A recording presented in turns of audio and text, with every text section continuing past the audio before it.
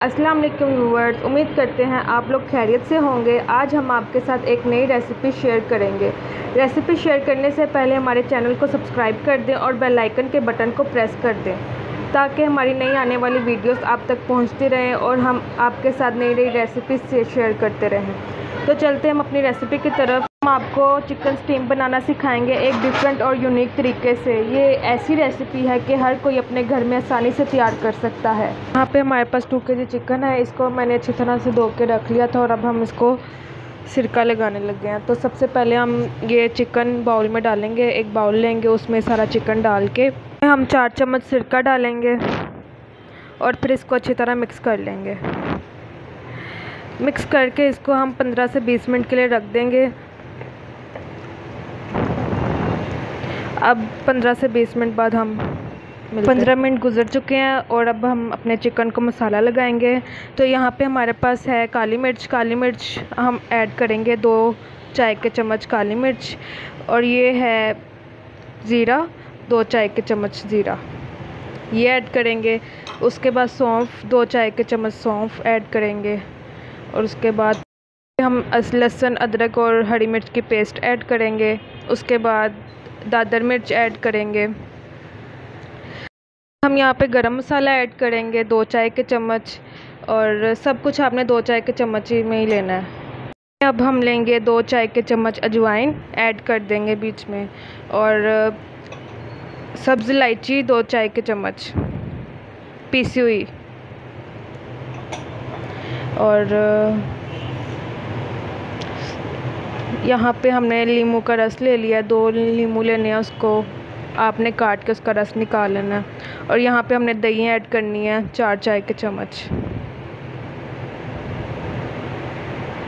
और हमने ये टिक्का मसाला ऐड करना है, चिकन टिक्का नेशनल का। ये हम ऐड करेंगे बीच में।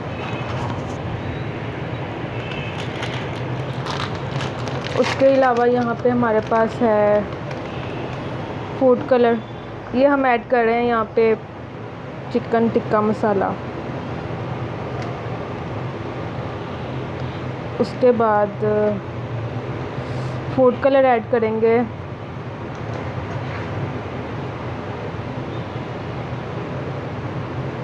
ऐड कर दें. आधा चाय का चम्मच. अब नमक बाकी रह गया, नमक भी ऐड कर देते हैं इसमें।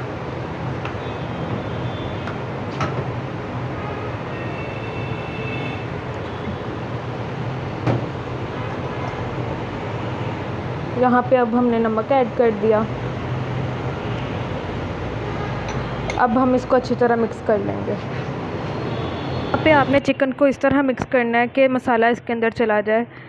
और अच्छी तरह मिक्स करने के बाद हम इसको दो घंटे के लिए फ्रिज में रख देंगे। हमें दो घंटे हो गए हैं चिकन को मसाला लगा के फ्रिज में रखे हुए। अब हम इसे स्टीम करेंगे। स्टीम करने के लिए यहाँ पे हमने एक कढ़ाई लिया अब हम इसमें चिकन एक एक करके रखेंगे।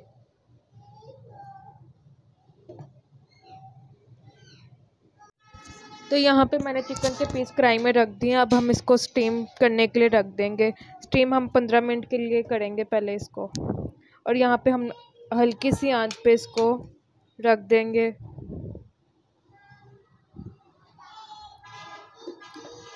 तो अब पंद्रह मिनट के बाद देखते हैं। पंद्रह मिनट गुजर चुके हैं, अब हम इसकी साइड चेंज करके इसको फिर से पंद्रह मिनट के लिए पकने के लिए रख देंगे। यहाँ पे हम इसकी साइड चेंज कर रहे हैं।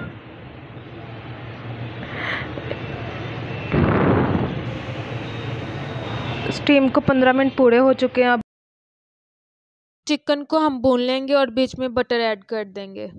ये हमने बटर ऐड कर दिया। अब चिकन को अच्छी तरह भून के तो डिश आउट करके हम आपसे शेयर करते हैं। ये हमारा चिकन स्टीम रेडी है। अब आप भी इसे घर में ट्राई करें और हमें दीजिए इजाज़त। नेक्स्ट वीडियो के साथ मुलाकात होगी। अल्लाह हाफिज़।